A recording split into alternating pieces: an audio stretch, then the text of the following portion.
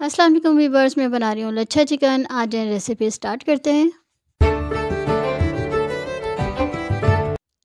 200 ग्राम boneless chicken लंबाई में कटी हुई इस तरह से। और इसमें जो स्पाइसेस जाएँगे, उसमें लिया है मैंने अदरक powder half teaspoon half teaspoon नमक हाफ़ टी स्पून काली मिर्च वन टी स्पून कुटी लाल मिर्च वन टी स्पून पिसी लाल मिर्च और एक अंडा।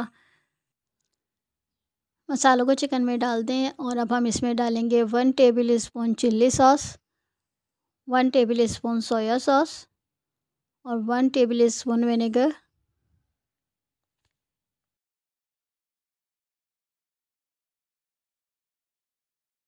ये चीज़ें चिकन में शामिल करने के बाद एक अंडा भी इसमें डाल दें और अच्छी तरह इसको मिक्स कर लें सारी चीज़ों को और इसे मैरिनेट होने के लिए रख दें आधे एक घंटे के लिए।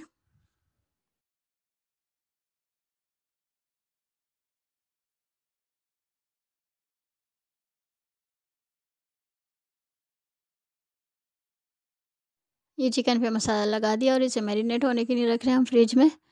और अब मैंने ले लिए हैं समोसे की पट्टियाँ और इसे बारीक बारीक कटिंग कर लिया। अब इसमें वन टीस्पून कॉर्नफ्लोर डाल के अच्छी तरह लच्छों में मिक्स कर लिया और अब हम चिकन को इसमें लच्छों में डालेंगे और इसको कोट करेंगे। अच्छी तरह सब तरफ़ से कोट करें ताकि चिकन भी अच्छे अच्छे आएँ और इसे फ्राई कर लें। ऑयल थोड़ा गंदा हो रहा है क्योंकि अभी इसमें और भी फ्राई की चीज़ें बनाई हैं। पकोड़े सैंडविच वगैरह। बहुत मज़ेदार अच्छा चिकन हमारी तैयार है। आप भी बनाएँ और मुझे अपनी दुआ में याद रखें। अल्लाह ताला आपकी मेरी तमाम तकलीफ़ें परेशानियाँ दूर फरमाए बरकत सेहत तंदुरुस्ती अता फ़रमाए। आमीन सुमामीन अल्लाह हाफिज़ अल्लाह निगेबान।